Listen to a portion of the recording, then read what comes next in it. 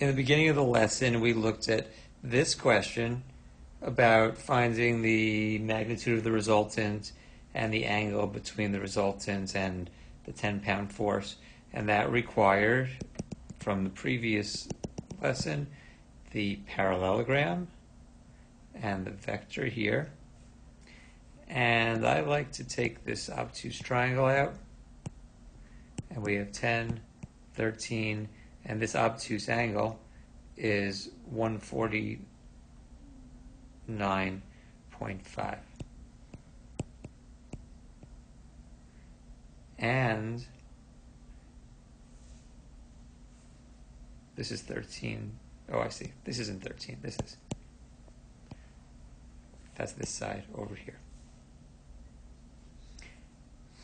And through a combination of the law of cosines, to get the magnitude of the resultant is 22.2.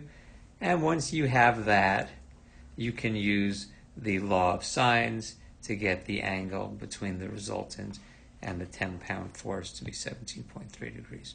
Well, I want to show you how using component form we could revisit and do the same question faster. So here's the same question. That vector, this one down here, the horizontal one, in component form, it's 10 comma 0. Magnitude of 10 is horizontal.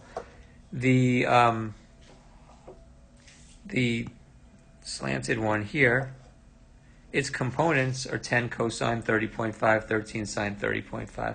That's because if I were to make this right angle, the, the, the force itself would be like the hypotenuse of the right triangle. This bottom line is not the 10 pound force, it's underneath. It's like that. The 10 pound force is probably something like that. Anyway, this is 13 sine 30.5 and 13 cosine 30.5. Those are the components. So I can write the vector this way. Well, now adding them together is very easy because you add these two things together algebraically by just adding the horizontal component and adding the vertical components. So these become 13 cosine 30.5 plus 10. And when you add to 0, it stays the same.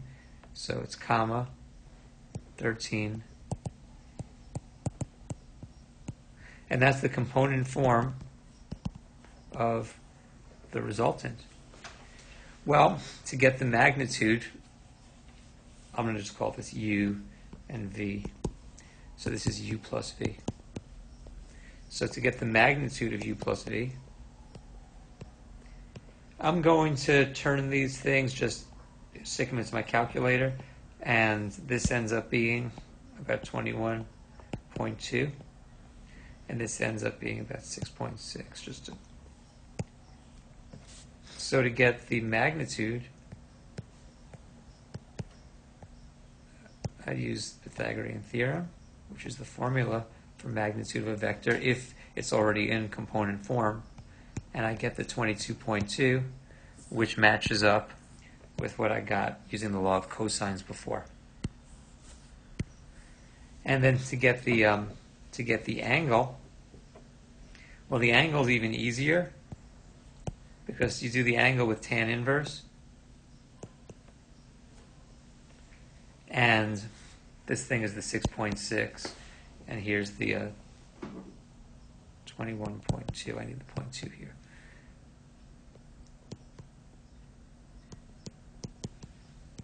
And you pop that into the calculator, and you get 17.29.